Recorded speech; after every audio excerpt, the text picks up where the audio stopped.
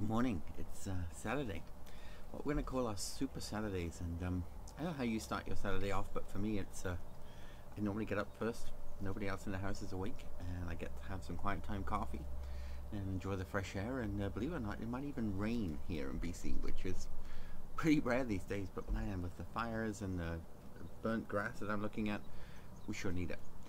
So we're calling these Super Saturdays, and I just wondered, um, what makes your Saturday super? Is it just another day, uh, or is it a special day? Um, a few weeks ago, my daughter and I were cleaning out the garage. We have two bikes, and she said, "Dad, we haven't been on a bike ride for ages." And I looked at it; it was like three years, like ages. I went, "Yeah, I know. We should do it.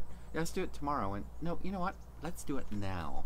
So we went for a bike ride, and we had a great time. We bonded like never, never normally do that because uh, we just did it on the spontaneous. So I want to just encourage you to do something spontaneous today on this Super Saturday.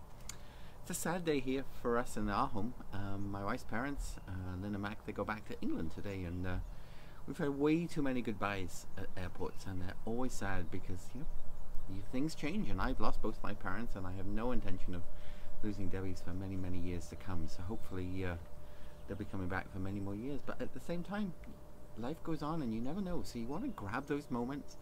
You want to have no regrets. You never ever want to say, "Gosh, I wish I had," or "I should have," or maybe I should have or could have, you know, do it today. Make the most of it. Make it a super Saturday.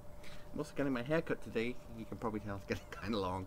I love my hairdresser. We help her with her Facebook page and we have so much fun when we chat. So just just be thankful for those around you. Be thankful for the people that uh, service your stuff and uh, and remember to say thank you to and make the people that have to work on a Saturday a super Saturday too. And um, and that's it for today. Just make it a super Saturday and make stuff happen.